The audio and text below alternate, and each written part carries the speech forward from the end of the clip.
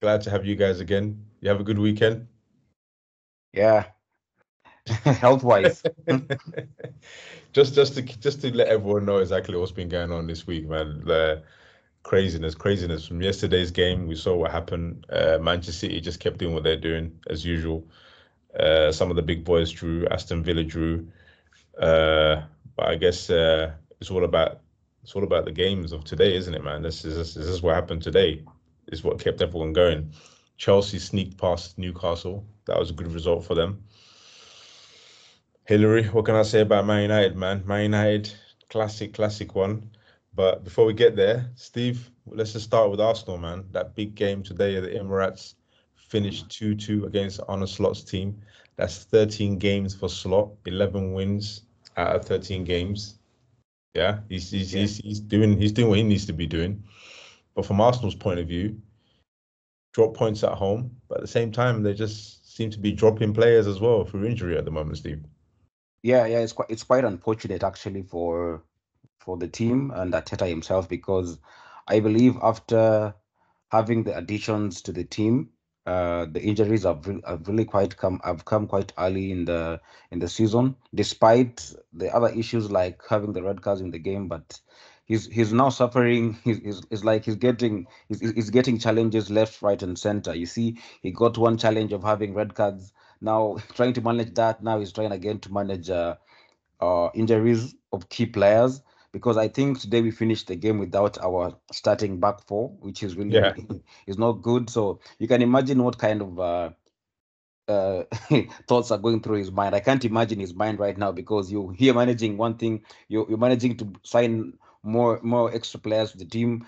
The moment you bring them in, your team starts suffering. I don't know what is happening in the, in the training in the training grounds of Arsenal because yeah, when you see such things happening, now we see we have uh, Gabriel on the uh, sorry, yes, Saliba in the red card. Then Gabriel gets injured. Hope, hopefully that is not something that serious. Maybe just a knock. That because I saw the Nunez uh, knee to knee was uh, quite. It can be really, it can be painful at that moment. So yeah. I think uh, uh, honestly, uh, the outcome is not disappointing because with the with the depth of, of squad we have, it's something uh, I can live with because we tried our best.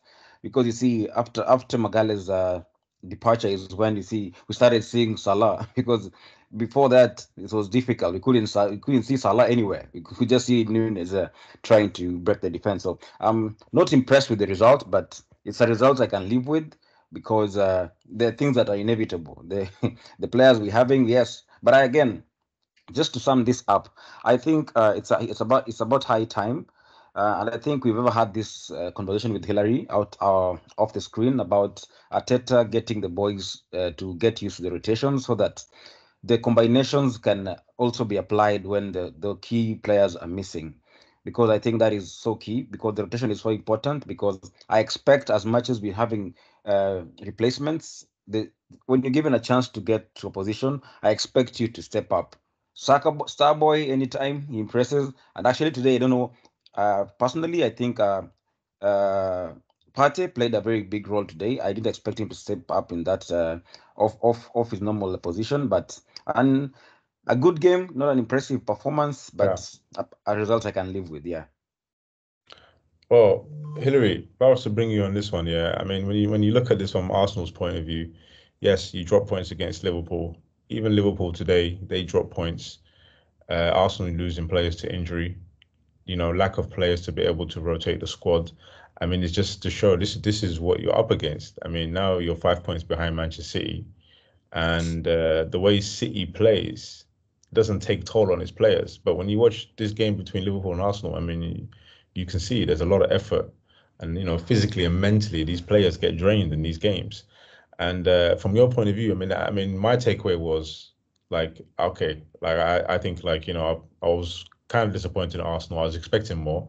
Liverpool were impressive, but it seemed like each time one team scored, the other team just wanted to like sit back and then uh, wait a little bit, you know, and then they, they seem it's almost like the goal made them come out every time, you know. So what's, what's your take on that one? I think um, Arteta should have learned from Ten Hag last season. It's important to rotate your players, especially if you have midweek fixtures. Um, what team did Arsenal play in the Champions League this week? I can't remember. Um, Shakhtar.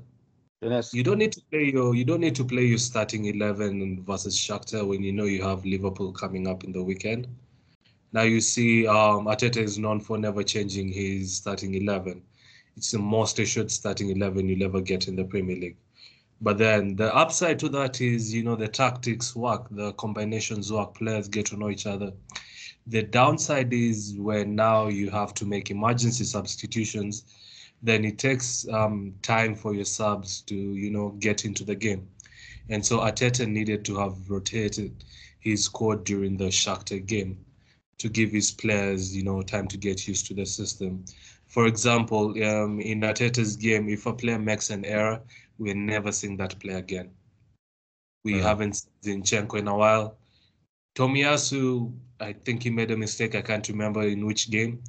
And since then, now you see because he doesn't even play anytime he's given a chance to play, he's it was the Man City game, the Man City game that he gave a back pass to De Bruyne. Yeah, you see, and then now when you don't give your player confidence, um, he lacks fitness. When the player comes in, he gets injured, all because you don't want to rotate your your starting lineup. And you see now that is what will affect Arteta, and he should have learned from Ten Hag. If City loses players, Rodri has been out, but you can't tell Rodri has been out. Hmm. Kovacic has stepped in uh, seamlessly. Mat- Matheus Nunes has stepped in seamlessly, you see, because of that rotation. Um, Chelsea were being criticized for having, I don't know, 100 players, but because of the squad rotation, they're able to keep up with the tactics of the squad. So I just feel that Arteta should, um, you know, just rotate. But one positive thing I can say about today is he came to play today's game. You know, there are times where you need to forget about the rest of the fixtures Hmm. and make sure that the game at hand, you come to give the fans what they want. And today, Liverpool was actually struggling, if we're honest. Liverpool wasn't seeing um, Raya that much the way Arsenal was, you know, giving Kelleher a hard time. We haven't seen Van Dijk in panic mode for a very long time, you know. Um, he had to substitute Robertson. Robertson hasn't been in panic mode in a long time. So we can see that Arteta set up today to win. He Yeah. came to win. He came to, you know, back down. If it wasn't for the subs, I don't think Arteta would have played defensive. Yeah, but I, th- I think you know, um, I, I personally think like we're looking at the this is this is the ceiling for Arteta at the moment. You know, I don't think it's going to get much better for Arsenal with this. Uh, I think at best this season, Arsenal can probably get second place. That's that's how I see it. I don't, I don't even Liverpool as well. I don't really see anyone beating anyone. I just think it's just looking at the way they're playing and the injuries and the level that's needed, you know. And it's not just this game. I mean, the previous games, you know, uh, playing some of the other teams. I mean, you got to be on your game every week. You got to take your chances when you need to take them. But from Slots and Liverpool's point of view, I mean, it's a good point for them. They got what they needed. Uh, they showed they showed great signs when uh, they attacked. Under Liverpool, Slot does play a different system. It's not the Klopp's, you know, all out, you know, attacking you there's there's a lot more compact. There's a lot more control in his game. A lot more defensive thinking of it. Uh, you can see you can see that by that they don't have a high line like they used to under Klopp. But you know, this game, um, man, I'm just I'm just thinking, man, what what else? What else? What can Arsenal do, man, and what can Liverpool do, man? Like they playing at each other. These are the two best teams after City. I mean, what are these guys gonna do But to but, but? I, I think I, I think Abdi uh after such uh, a performance, yeah, the, the the downside of the start of the season for Arsenal and actually Liverpool have really had the best piece of the cake. So I think uh the good the, the only positive side I can look at this uh at, at this uh Arsenal side at this moment is that it's good that this downsideness the, the, the downside of us Arteta's uh, tactics and uh, frustrations have come early. Unlike when you really when you have limited games chasing a team that is already in front. So uh, let's just have the hope that because it's it's early because we are only nine games uh, out of the 38 so uh, let's hope for for a change before the first half of the of the of the of the, of the matchups of the Premier League. So the good I I, al- I always take positive side when we when you get these mistakes and uh, sorted early, unlike when you really towards the edge and you have Yeah, to yeah. and you have to you don't have any other option. So uh it, it gives us it gives us room to to improve because now we have to chase five points down the line, which is now something else, and which you see we uh, Liverpool are yet to play Man City. We've played Man City, so I'm, I'll I'll look I'll look at the the three teams that are chasing each other each other. So hoping that I'm thinking, but Steve, I'm thinking like you know, I, I just look at this Arsenal team and I'm like, okay, what, whatever they want to do, I mean, they can't do anything without their players. I mean, this is this is a squad. yeah, This is a squad That's thing, and they don't, they don't have the players. Like, well, they, if, if you lose one or two players, is a problem. If you lose five, six players, I mean, forget it, man. That's like, that's just not. I, You know, I, I, I don't- don't don't know have what the to happening to the right that. wing and left wing of Arsenal for the past Yeah, for the past seasons. The, the the left wing, the left one, the left wing and the right wing, we always having players on injuries each and every time. Tierney, and who's I, Yeah. I, I'd oh, like to blame Arteta for that. I'd like to blame Arteta for today's game because today we knew that Timber wasn't fit. yeah, If Timber is not fit and you have Kiwi on the bench, um, um, Kiwi, I know I'm a good fullback, right? But then he starts an unfit um, Timber against Salah, and then he plays Partey against Diaz. So but what he had, does to, that? he had to, but he had to. Ki- would have got killed by Salah. I see. We pace. you, now the, the downside is you've lost um, Timber. Yeah, What- no, what no. something had happened This to game, this Timber? game was a must. This game was like Arsenal couldn't lose this game. Like there was no, there's no way out of it. Like it would, it would have just killed them, demoralized them. You know, it would have. That's the point where you don't give your players confidence. You'd never see um, what's the name of Rico Lewis coming in for Walker. Arteta wouldn't have made that decision. Yeah, but that's yeah, that's you know, we're talking about someone who's done four titles, that. four Let's, titles let's in a row. give an example of the best manager so far this season, Hansi Flick. Mm, Hansi Flick is using La Masia against Barcelona, against uh, Madrid and Bayern.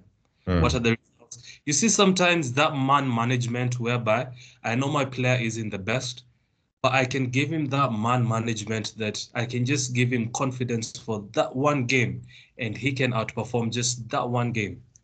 And that's what you know Arteta needs to do that man management with specific players who are subs. No, but we were doing all right. But then you know, then it's almost like we started doing funny transfers again. Like you know, Merino and, and I don't understand and these these other kind of players. You know what I'm saying? Like it's not really.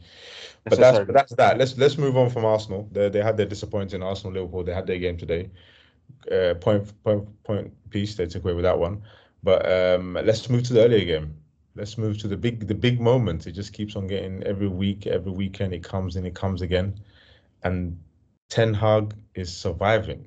He's he's hanging in there. Hillary. He just seems to be. I don't know. I don't know what he has, man. I, I, someone was telling me the other day, man. I'm thinking they're telling me like, are you sure like Ten Hag hasn't done some deal with Epstein where he told him, "Don't worry, man. You keep, you keep, you keep your Yo. journey. I, I got something on these United owners." The best thing, best move Ten Hag made was extending his contracts. yeah. because guess what? I can play the shittiest football, and guess what? If you suck me, the Yeah. the payout is going to be big. yeah. Either way, it's a win-win for me. You keep me, I'm getting paid. You suck me, I'm getting paid. Okay, but but tell me, tell, but tell me from your view. I mean, what's the thought process from these new owners from Ineos coming in? Like they came together quite recently and they gave him a vote of confidence. So, and then if he keeps doing this, if this is what he's producing, is, yeah, that's what is shocking most Man United fans because we know that the group that was assembled was supposed to be like an Avengers, you know, a Marvel team. Mm, where we know, you know, they, they, they're known for making the right decisions. But when it has come to Ten Hag, we absolutely have no clue what Ineos is about right now. Nobody has any clue what Ineos is going to do because a good team right now, we only have one win in 11 European games. We have, I don't know how many wins this season in the Premier League. yeah, yeah. My God, it's it's ridiculous. In win almost November and we're still in the middle part of the second page. You know, we're almost fighting relegation. And yet, you know, the, the sad part of today is Casemiro scored um, an equalizer against West Ham and he started smiling and was happy. This is how much we've reduced Casemiro to. He started smiling after that. I was so shocked. Stevie, listening to this. he scored a 70th minute equalizer against Oh, West Ham. God. and we are fighting to get back to the top half. Not even fighting to get to top four or top three to the to the first page. That's what we're fighting for.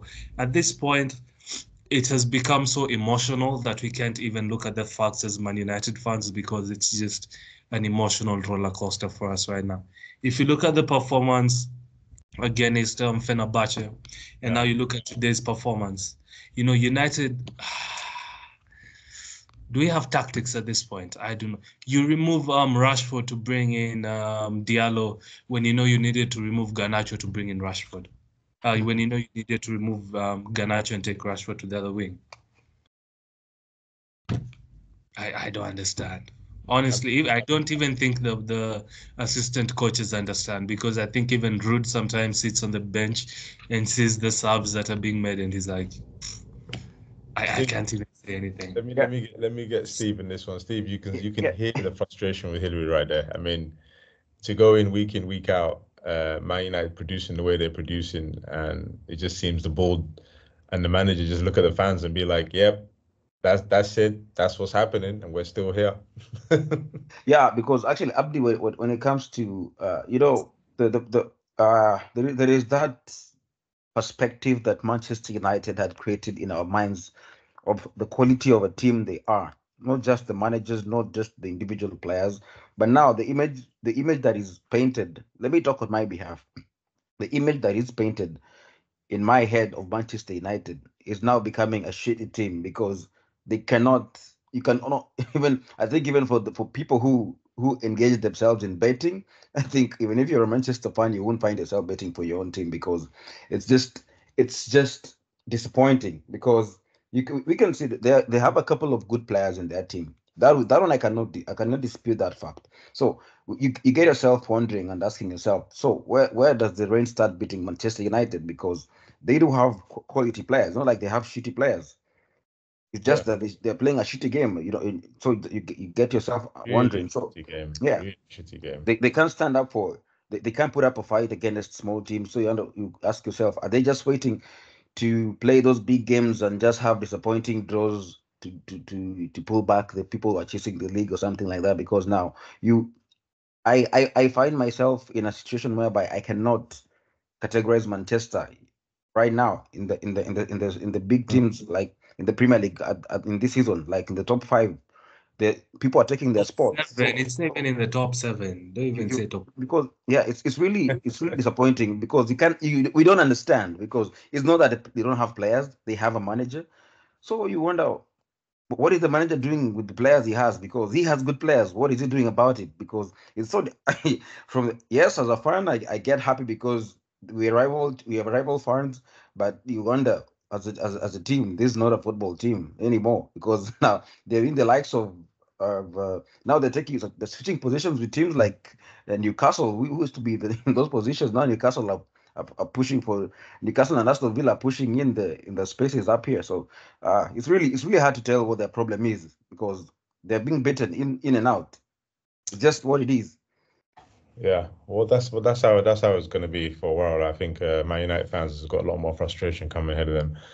Uh, guys, I guess that's that's what we have time for. Just just to quickly before we leave, we can give a, a little quick shout out to Tottenham losing to Crystal Palace again Didn't see that coming. against in that one. I And then didn't see that coming. Today's VAR. Um, come come in the It's- weekend. Yeah, Via of course Via is always a classic man. Coming, I mean, you saw you saw uh, Luis Diaz today, Liverpool game, kicking the ball where away, didn't get yellow card. There's so much for consistency. Mhm. And then Actually, uh, he did it twice. He also did it to yeah, yeah, the yeah. throw in twice, and nothing I- happened. I love it. Uh, and then yeah, so basically the way it's looking right now, it seems to be like you know, all everything's back into order. Man United on top, 23 points, one point ahead of Liverpool at 22. Then after that, Arsenal, Aston Villa, Chelsea, Brighton, 18, 18, 17. So yeah, it, it just seems like Manchester City sit, sitting on top of the way they where they're known to be. But I guess that's what it is for us, guys. Uh, let's come back again when we can. Thank you, Hillary and Steve. Appreciate your time, guys. Thank you very much. Right, goodbye.